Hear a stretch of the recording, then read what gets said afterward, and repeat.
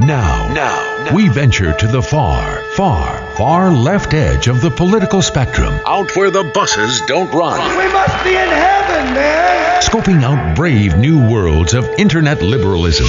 Join us, won't you, for another eye popping, jaw dropping episode of Children, what's that Blue Blogapalooza. Our Blue Blog Palooza is a public service to keep you informed on what the far left is saying, where they say it, which is on the uh, liberal left wing blogs, on the liberal left wing websites.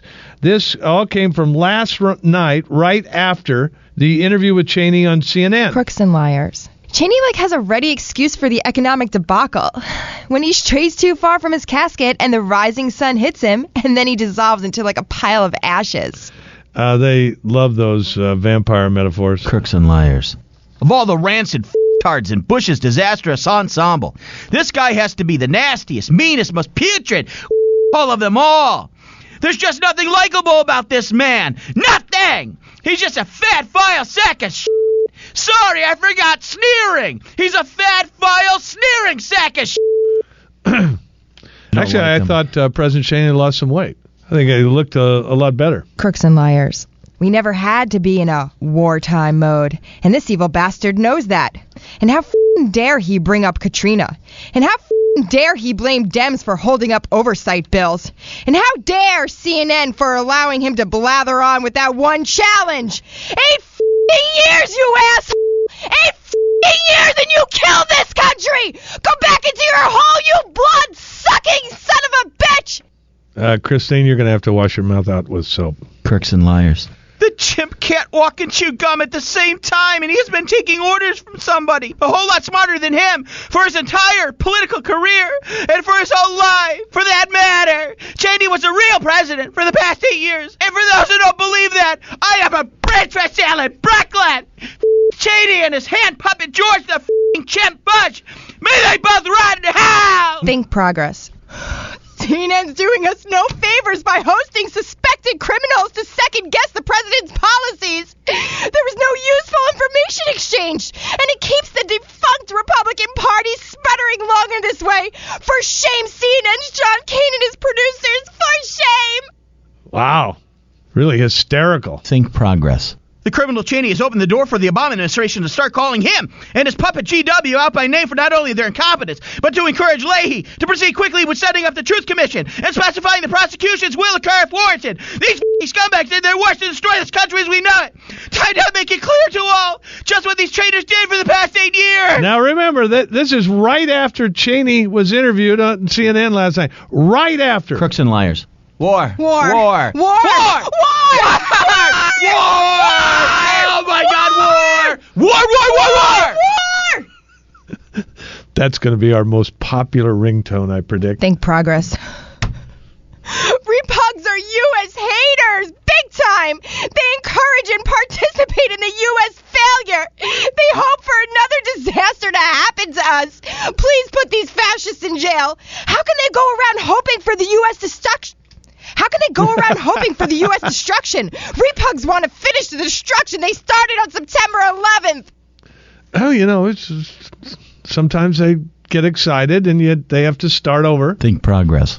The Swinish vampire cannibal Cheney, up to his old tactics, trying to frighten the good little credulous parishioners out there in Cornpone land. Meanwhile, what about his war profiteering and leaving the USA vulnerable to attack on and before 9 11? That perfidious enemy of the people must be hauled before the bar of justice and made to pay for his insidious war crimes, crimes against humanity, and crimes against peace, and trashing the Constitution. You out there in Cornpone land, wasn't Cheney right? Think progress. Every time I see Cheney's pale, old, nasty, sneering face on the tube, I want to throw up. Why is that? Same goes for that fat f- Bill Bennett. I mean, what the hell is that bloated creature doing on TV? Haven't we seen such slithering slime bags enough for one lifetime? Why does corporate media insist on rehabilitating those vicious insects? You think there weren't another 300 million people in this country with opinions just as valid as those rotten-hearted, disgraced right-wing reactionary know-nothing holes? These are people who have the thesaurus of insults. They sure do, Joe. They, they, they really know how to roll out some really vile talk. Raw story. So don't blame them for the tax cuts for the rich during the time of war then. Who did it? You did. Who passed more deregulation than anyone could have believed? You did. Who ignored the rule of law like it was going out of style? You did.